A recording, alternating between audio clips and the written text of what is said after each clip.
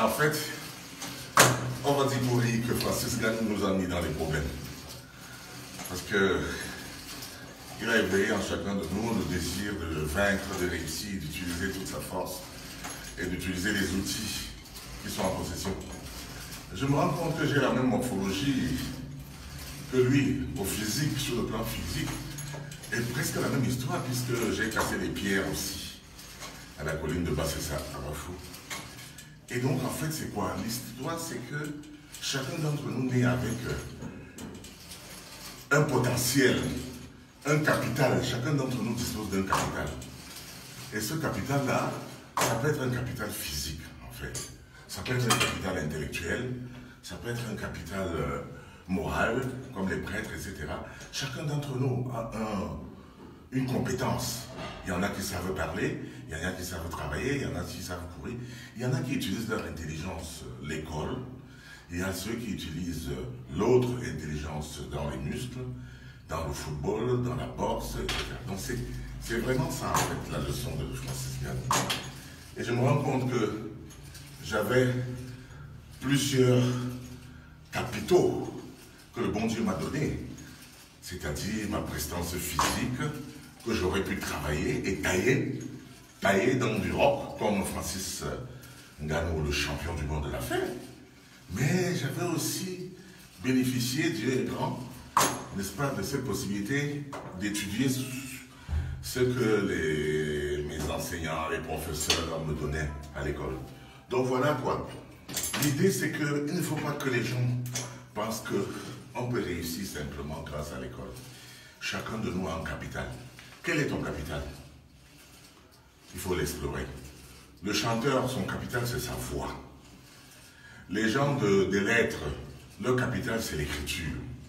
Mongo Betty, Chinois Chébé, etc. D'autres, c'est la mise en scène, le scénario, faire le film, etc. Chacun d'entre nous dispose d'un capital. Alors le problème c'est, est-ce que vous avez fructifié le capital dont vous avez hérité à la naissance Là, moi, ce que je fais là aujourd'hui, c'est un peu de l'entretien. Ah, là, c'est plus dur. C'est un peu de l'entretien physique. Mais qui qui peut penser que moi, j'étais un basketteur de mon temps un handballeur, un volleyeur, et que je faisais un peu de tennis. Tout ça, c'est fini avec l'âge maintenant.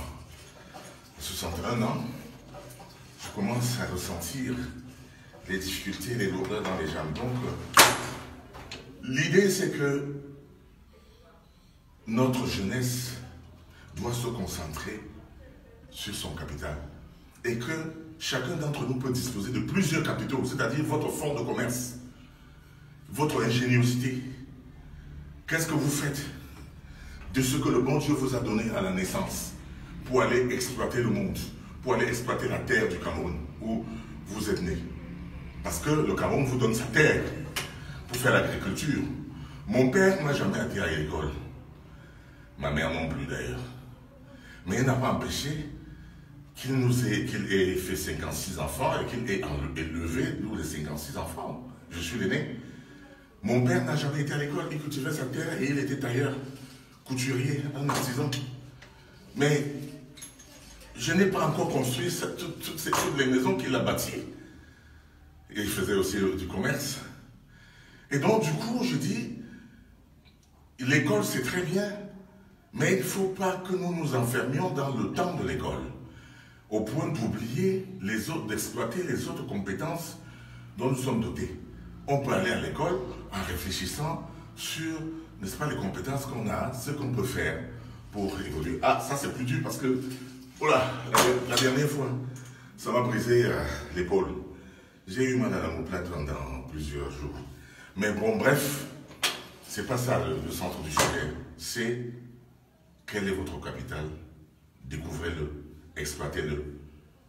Chacun d'entre nous est le champion de sa génération. Parce qu'au départ, c'était la course aux gamètes, où nous étions plusieurs milliards. Il y a un seul spermatozoïde qui a gagné et c'est vous. Donc vous êtes parmi les champions. Bon, bien sûr, la loi de la nature veut que, à la naissance, Il y a des faibles que la, nature, que la loi de la nature va avaler. Mais il ne faut pas que vous soyez parmi ces faibles. Il faut que vous soyez parmi ceux qui gagnent et qui vont de l'avant, comme Francis Ngannou. Voilà mon message de ce jour, de ce dimanche pour vous. Un peu d'exercice physique pour se maintenir en forme, parce que c'est à notre âge, c'est le médicament. Hein, c'est comme le remède pour, les vieux. Encore que je ne suis pas encore vieux, j'ai encore du temps. Ensuite, c'est le sport ou autre chose, ça peut faire partie de votre capital pour réussir dans la vie. Au revoir et bon dimanche à tous. Coupé